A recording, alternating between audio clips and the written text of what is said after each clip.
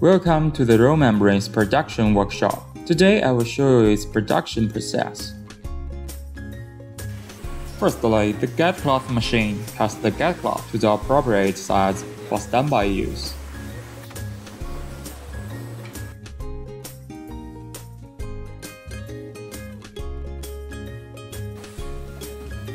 The role of the guide cloth is mainly to guide the water flow to be evenly distributed within the element and to provide a certain level of support.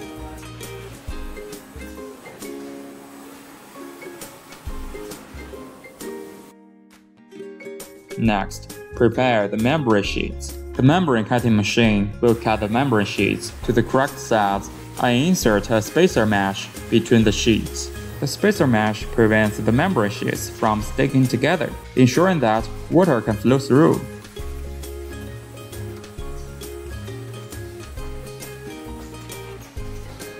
Workers will transport the prepared membrane sheets to the rolling machine.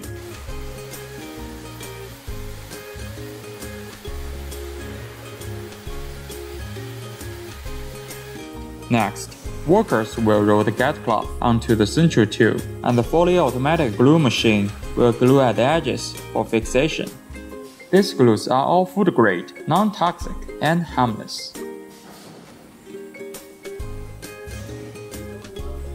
Workers will stack the membrane sheets layer by layer, with get cloth separating each set of membrane sheets. Afterwards, the automatic glue machine will glue and fix the sheets.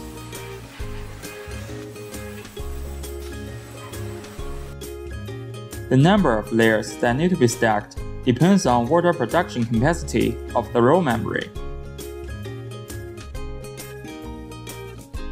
When the stacking reaches the required number of layers, the rolling machine will start rolling, and workers will continuously pad to expel air and prevent membrane sheets wrinkles.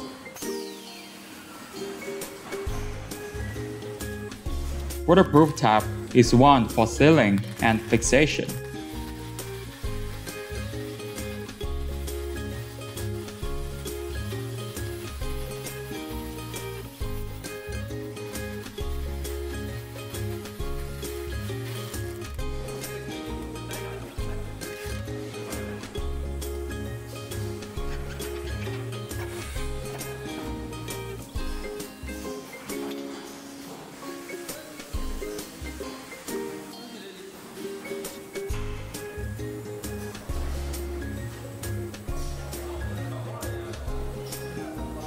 The trimming machine will trim off excess material to facilitate the installation of the end caps.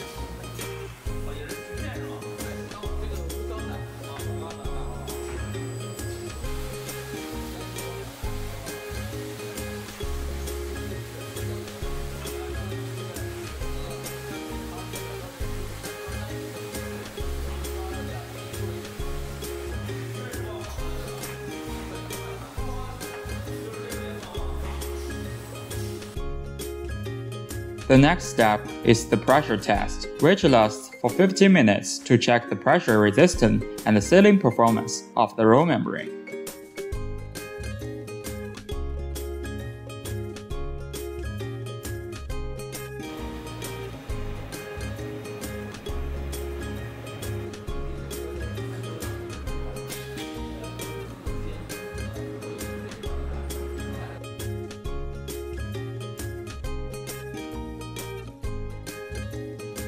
Now, attach the labels.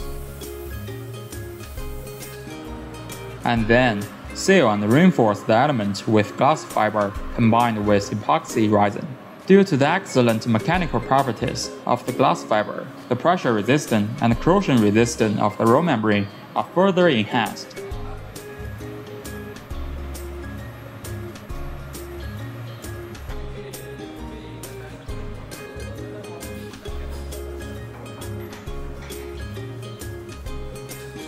After the epoxy resin has cured, it's ready for packaging and shipment.